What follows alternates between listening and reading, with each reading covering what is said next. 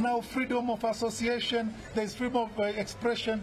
You members of the press have witnessed what, the, what this is all about. The trouble we have in this country for the time being is that we have a leadership that is very hypocritical. I want to repeat what President Edgar Chagwa Lungu said.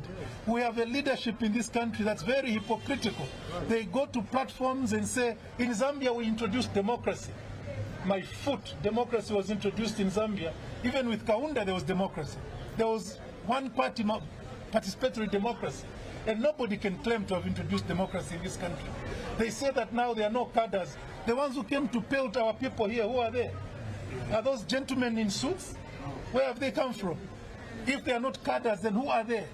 Are those the leaders of UPND who have come to pelt our people?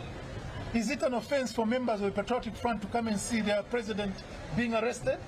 What offense have they committed? Who did they injure?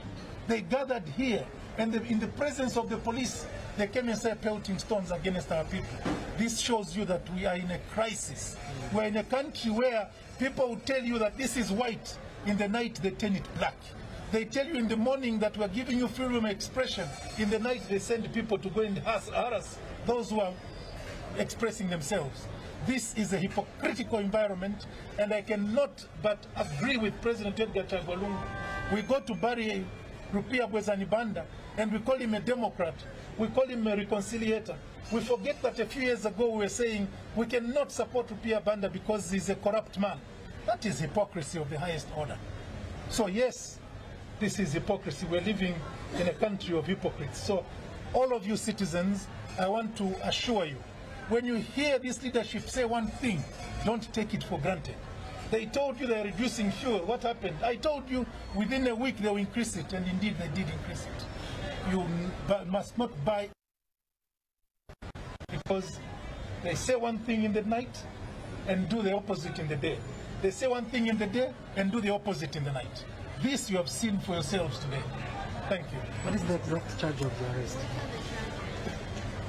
The charge of uh, five, five counts, all of them about my account having oh, so much dollars here, so many dollars, and so on. In one account, the same dollars are being counted, and they're saying this is proceeds of crime. So I want to go to court, so in court they can go and prove how it is proceeds of crime. How many people in Zambia have dollars in their accounts? How many? So we'll have to go and prove this in court.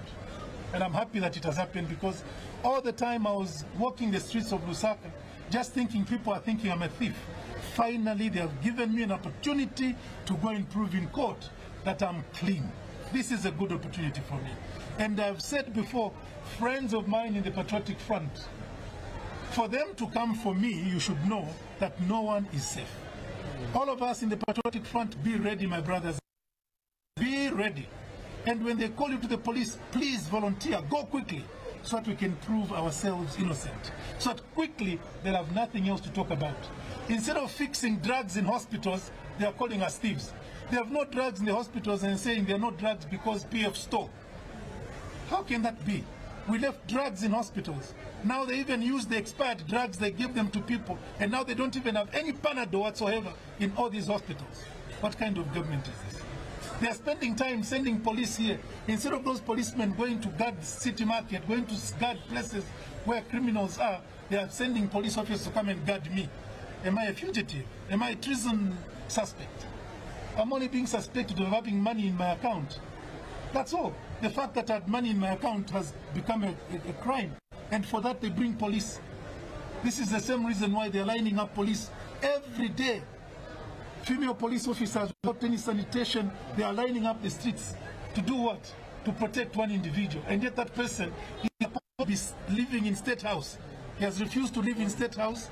He's exposing our female police officers to unsanitary conditions, all in the name of him saying State House is not too good for him. And yet he was campaigning to go to State House. All the other presidents, six presidents before him, were willing to occupy State House except him. I can assure him that he too, his day is coming. He shall not be president of Zambia forever.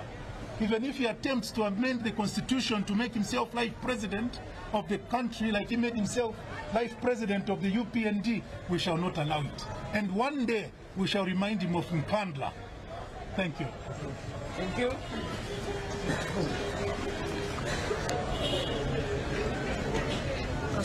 But I want to find out. So basically, it's five counts of being found in possession of uh, property suspected to be masses of crime. So the first one relates to a house um, in uh, uh, what's the name, Kingsland. The second one relates to uh, hundred thousand dollars. The third one relates to fifty thousand dollars. Fourth one to eighty thousand dollars, and so on. So it's basically being found in possession of property suspected to be masses of crime. When is it like to appear for the courts? Well, we we, we, came here at, uh, at, at 14. This is this is roughly about what time? This is 16. Yeah. So we've been here all this time. I mean, when is it like to appear for the courts? He's supposed to appear in court on the 21st of uh, April 2022. Thank you very much. Welcome.